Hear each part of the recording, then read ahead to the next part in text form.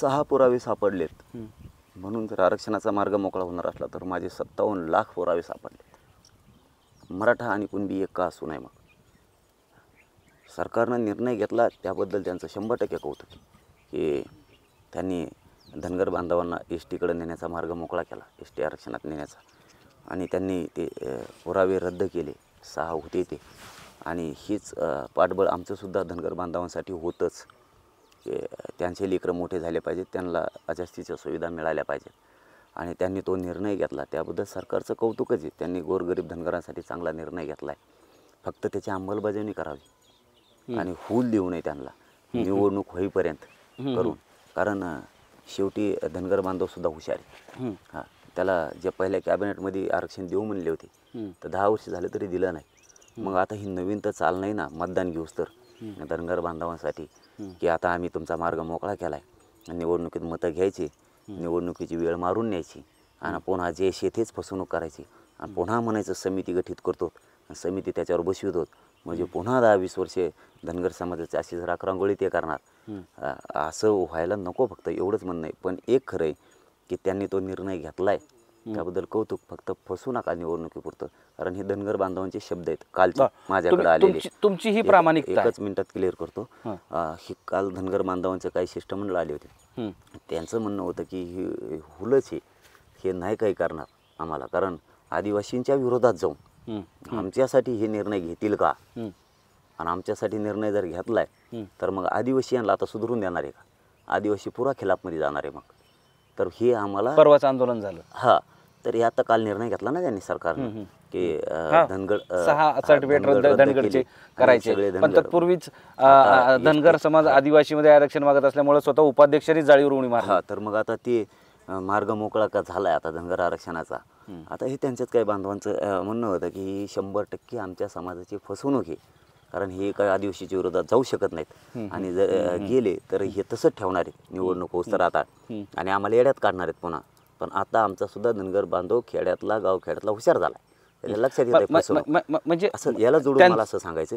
की आता सरकारनं ते स्वागताचा निर्णय घेतला. बरोबर. योग्य आता तो विषय संपला. म्हणजे आम्ही आरक्षण धनगरांशी पॉझिटिव्ह आहेत त्यांच्या बाजूने त्यांचं आंदोलन संपलं. आता जर सरकार ते करू शकतं आंदोलन संपू शकत नाही धनगर बांधव कधीच त्यांच्यावर विश्वास ठेवू शकत नाही. कधीच नाही समजा. या मुद्द्यावर या मुद्द्यावर तरी स- निवडणुकीच्या तोंडावर. अंमलबजावणी होऊस तर ते विश्वास ठेवू शकत नाहीत. कारण त्यांना पक्का माहिती हे दहा वर्षात देऊ शकले नाहीत. पहिल्या कॅबिनेटमध्ये देऊ शकले होते. देऊ शकणं मानणाऱ्या आता कशावर देतील? मतदानात मारून नेण्यासाठी हे विषय चालला यांना फक्त खुर्चीवर बसायचं आहे. ते लय हुशार आहेत राव. मी काल बघितलं लय चॅप्टर आहेत ते. अं, त्यांनी ते ओळखलं. आता तो विषय संपला. आपण कौतुक काय केलं. मार्ग मोकळा झाला. धनगराचं चांगलं झालं. पण. सरकार आता माझ्या मराठ्यांचे पुरं का मारणार मग.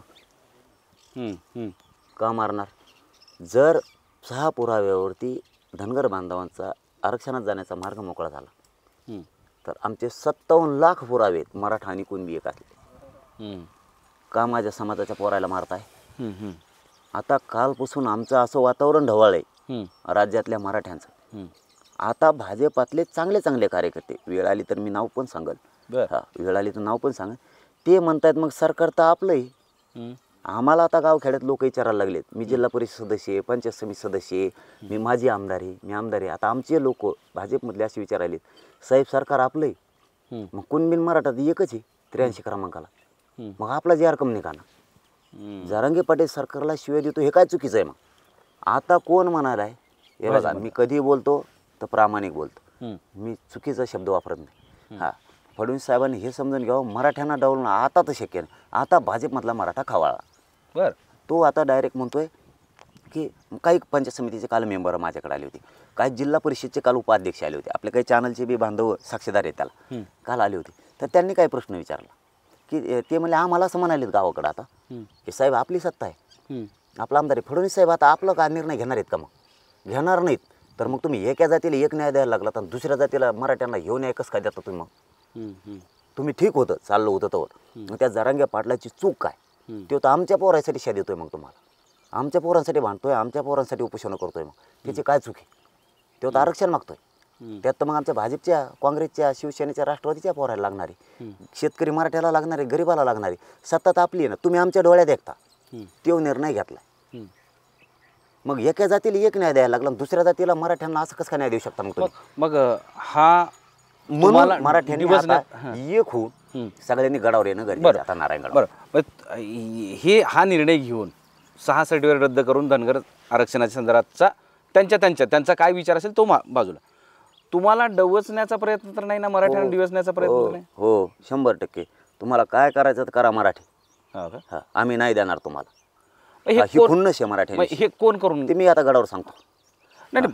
तुम्ही आतापर्यंत फडणवीसांचं तर सरळ देवेंद्र फडणवीस हे हे सगळं कटकारस्थान करतायत वगैरे तुम्ही थेट आरोप करत होते आता एकनाथ शिंदे सुद्धा तसंच अजित पवारांचं तर तुम्ही आता काय निर्णय हं, आणि काय करायचं आहे काय केलंय हं, सामाजिक मुद्दा म्हणून मी तर मांडणार. राजकीय मुद्दा. तिथं मांडणार मी नाही. जातीचा पण नाही हां, सामाजिक मुद्दा म्हणून तर मी मांडणार आहे हं. यांनी फक्त आचारसंहिता लावायच्या. आचारसंहिता जर यांनी लावल्या हं. यांचा खेळ पालटाला साहेब. माधव सर तुम्हाला मी जाहीर सांगतो. कधी नाही झालं लोकसभेला नाही फिक्सबेल नाही ही विधानसभेला होणार आहे आता.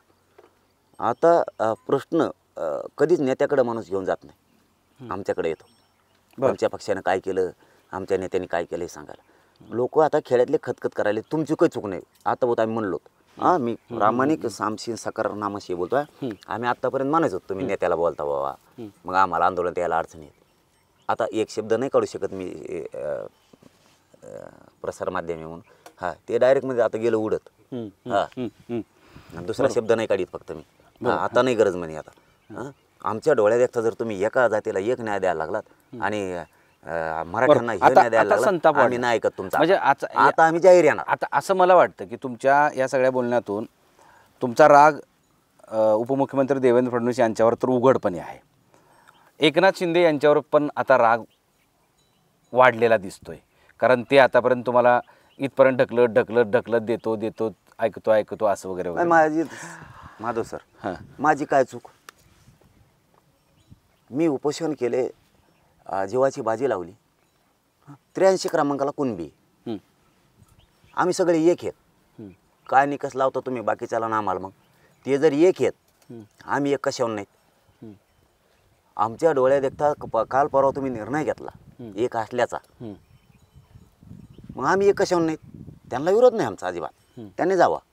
आम्ही सोबत आहेत. त्यांनी एस टी आरक्षणात जावा. शंभर टक्के जावा. पण मग आम्ही एकच का नाहीत? कुणबी जे त्र्याऐंशी क्रमांकाला आहे मराठी आणि कुणबी एक नाहीत निकष कशावर? हे आता मराठी विचारायले हं. हा खाली कुजबुजी आता. मेन नेता त्यांना सापडू शकत नाही. सामान्य मराठ्यांना गरीब मराठ्यांना बरोबर. भाजप शिवसेना राष्ट्रवादी काँग्रेसच्या मराठ्यांना ते तर नाही सापडू शकत. पण खालचे सापडतायत ना. ते डायरेक्ट म्हणाले जातात आमदाराला जिल्हा परिषद सदस्याला पंचायत समिती सदस्याला. असणाऱ्या सरपंचाला ऐ तू आमदाराला बोलला का? सरपंचाला म्हणालेत भाजपाच्या. काँग्रेसच्या शिवसेना राष्ट्रवादीच्या म्हणाले तू बोलला का तो नेत्याला.